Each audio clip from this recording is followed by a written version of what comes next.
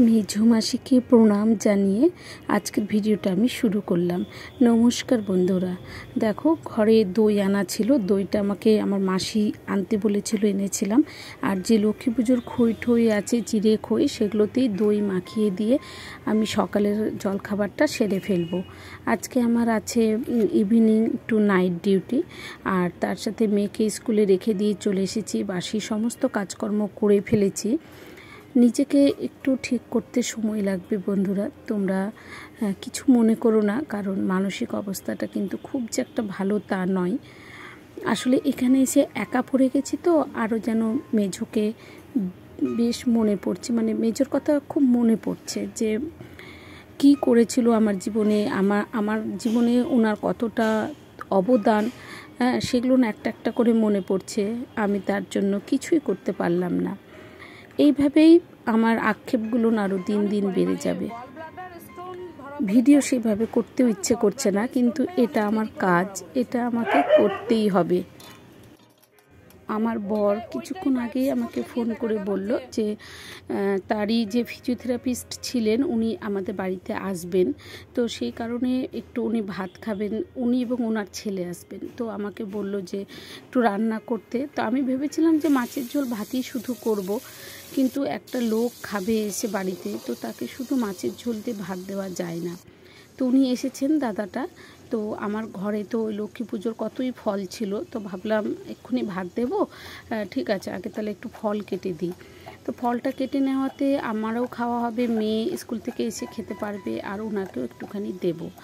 আমার হাজব্যান্ড আমি যে মালদা থেকে বাড়িতে এসেছিলাম, তো সেই দিন সকালবেলা আমার হাজব্যান্ড ওখানটায়, তো দেখোই তোমরা যে মাছ বাড়ির সামনে দিয়ে বিক্রি করে। তো ও বলল যে, একটু কিনে নাও, তাহলে এখানেও রাখা যাবে, ওখানেও নিয়ে যেতে পারবে। আমাদের তো এখানে লিলুয়াতে এসে বাজার যেতে আমার খুব কষ্ট হয়। তো সেই কারণে বললাম যে হ্যাঁ ঠিক আছে, নিয়ে নিই তো সেই মাছ একটু নিয়েছিলাম, সেই মাছেরই ঝোল করলাম, কাতলা মাছ ছিল এবং তো সেটা কালিয়ার মতন করলাম, বেগুন ভাজা করলাম তার সাথে। আর মাছটার একটা মাথা ছিল, সে মাথাটাকেও আমি নিয়ে চলে এসেছি। মাথাটাকে দিয়ে বাঁধাকপি করব। বাঁধাকপিটাও আমার ওইখান থেকে, বাড়ি থেকেই কেনা। আমাদের তো ওখানে দেখো তোমরা যে বাড়ির সামনে দিয়ে সবজি আলা যায়, মাছ আলা যায়। তো সেইখান থেকে একটা ছোট্ট থেকে বাঁধাকপি কিনেছিলাম। তো আমি এটা রান্না করলাম, মাছের মাছগুলো তো আমার ভাজা হয়েই গেছিল।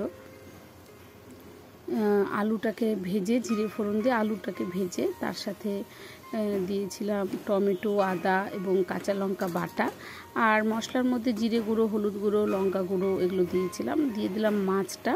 ভালো করে একটু কষানো হয়ে গেলে তখন দিয়ে দেবো বাঁধাকপিটা। তো এখনকার সময় একটু বাঁধাকপিটা খেতে ভালো লাগে। এর আগেও আমি একদিন এনেছিলাম, সেটা কিন্তু মোটেও ভালো লাগছিল না। তো আমি হয়তো আজকে বাঁধাকপিটা করতাম না, শুধু মাছের ঝোলটাই করতাম। কিন্তু যেহেতু উনি খাবেন, ওনার ছেলে খাবেন, তো আমি সেহেতু বাঁধাকপিটাও রান্না করলাম। একটা বাইরের লোক উনি এসে খাবেন। তো তাকে আমি শুধু কি করে দিই? ঘরে যেহেতু আছে, সেহেতু করলাম। যদি না থাকতো তাহলে তো হয়তো করতে পারতাম না। তো বলে না যে মানুষ মানেই তো নারায়ণ। আর নারায়ণ আমাদের বাড়িতে সেবা করবে। তো তাকে একটু তো ভালো করে দিতেই হবে। আমি কোনো মানুষকেই ফেরাই না। তোমরা দেখো যে ওই যে মাছ দাদাটা আসে ওনাকেও আমি দেওয়ার চেষ্টা করি, জল, বিস্কিট উনি ভাত টাত খাবেন না কারণ উনি পুরো নিরামিষ খান। তো আমি এটা দাদার ছেলেটাকে ই করে দিলাম, সাজিয়ে দিলাম। আর ওই যে দাদাটা এসেছেন উনি আমার মেয়েকে মানে তাঁতইকে স্কুলে আনতে গেছে। আর দাদার ছেলের একটা পরীক্ষা ছিল এখানে, সেই কারণেই এসেছে। তো ছেলেটা বাড়ি থেকে কিছু না খেয়েই বেরিয়ে এসেছে। তো ও তাই জন্য দাদার ছেলেটাকে প্রথমে দিলাম, তারপরে মেয়ে স্কুল থেকে দাদাটা নিয়ে এলো। তারপরে দাদাটাকেও দিয়ে দিয়েছিলাম, তারপর আমরা মা, মেয়ে দুজনে খেলাম, কুকুরকেও খেতে দিয়ে দিলাম। দিয়ে আমরা মা মেয়ে মিলে চলে যাচ্ছি অফিসে। এখন যাব, আবার সন্ধেবেলা একটু আসব, এসে আবার নাইট ডিউটিতে যাব। তো এরকমই আছে আজকে আমার ডিউটি তো তোমাদের যাওয়ার পথে যে দেখো, এই গাছটার ফুলগুলো একটু দেখিয়ে দিচ্ছি। যে দেখো কত ছোট ছোট গাছে কতগুলো করে ফুল ধরেছে। গোলাপি ফুল, হলুদ ফুল, এটার মধ্যে অপরাজিতা ফুল তো আমার তো ফুল ভীষণ ভালো লাগে।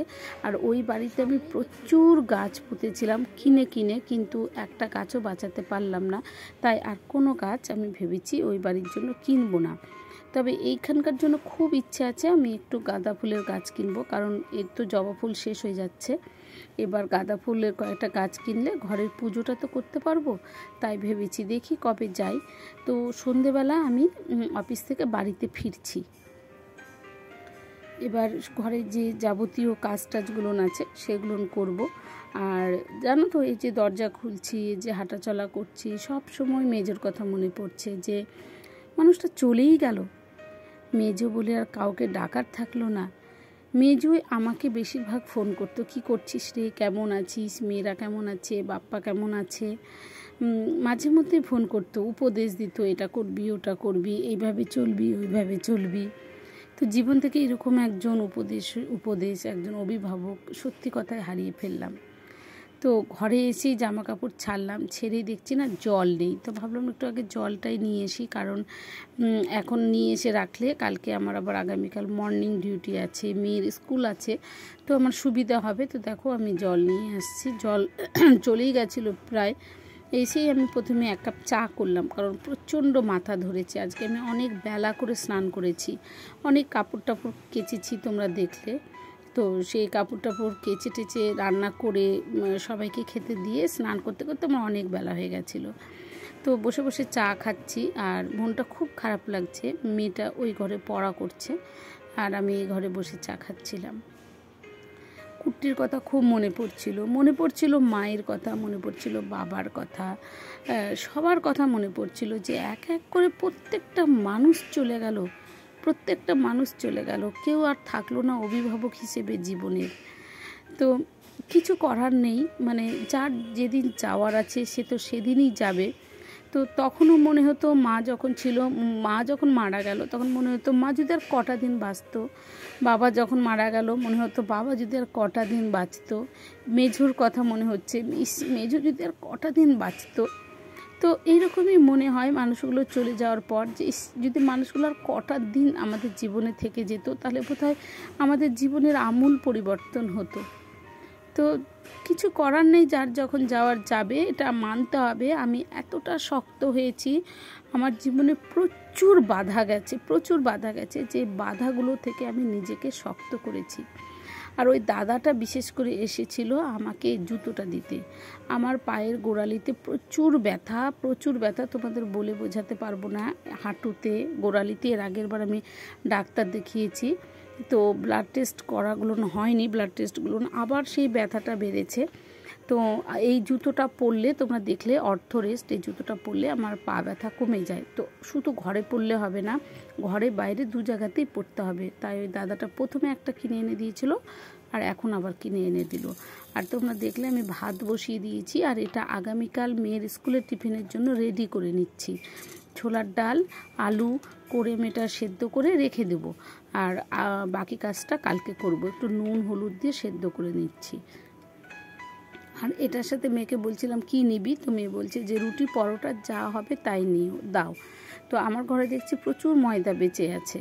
তো আমি ভাবলাম যে, তাহলে একটু পরোটার মতন করে দেব। তো আমি সেই কারণে এটাকে মেখে টেকে আজকে সব ঠিকঠাক করে রেখে দেব।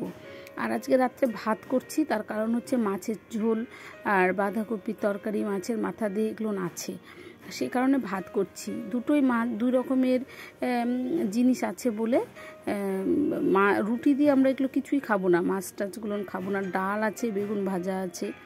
তো সেই কারণে ভাবলাম যে এক মুঠো ভাত করেই খেয়ে যাব ডিউটিতে। আর গরম জল করলাম, ওটাতে ময়ম দিলাম তেল, নুন আর একটু চিনি দিয়ে। ময়ম দিয়ে হালকা করে গরম জল দিয়ে ময়দাটাকে মেখে রেখে দেবো। এরকম করে তোমরা দেখবে গরম জল দিয়ে ময়দা মেখে রাখ, মাখলেন। লুচি করো, পরোটা করো, খুব নরম হয়। তো সেই কারণে আমি এটা গরম জল দিয়ে মেখে নেব। আমার শাশুড়ির কাছ থেকে টিপসটা শেখা আমার। শ্বশুর শাশুড়িও চলে গেল কেমন করে, তাই না? সবাই চলে যাচ্ছে এক এক করে। আমি তাই কুর্তিকে বলছিলাম যে কত ফ্যামিলিতে কত বুড়ো বুড়ি থুরথুরি থাকে। হ্যাঁ সেই বুড়ো বুড়ি থুরথুরিটা আমাদের পরিবারে বাবার বাড়ি বলো, শ্বশুর বাড়ি বলো, মাসিদের বাড়ির তরফের বলো, কেউ থাকল না। মানে বুড়ো থুরথুরি কেউ হয় না, তার আগেই সবাই চলে যায়। তো এটাই ভাবতে ভাবতে মনটা খুব খারাপ লাগছিল যে সত্যি কেন যে মানুষগুলো এত তাড়াতাড়ি আমাদের জীবন থেকে চলে যাচ্ছে, কে জানে? তো দেখো, মাখা হয়ে গেল। আর এইরকম ময়দা এটার প্যাকেট, তোমরা এরকম ময়দার প্যাকেট বা তেলের প্যাকেট বা বিস্কিটের প্যাকেটের মধ্যে বা কোনো এয়ার টাইটের কৌটোতে এইভাবে মেখে তোমরা ফ্রিজে রেখে দেবে।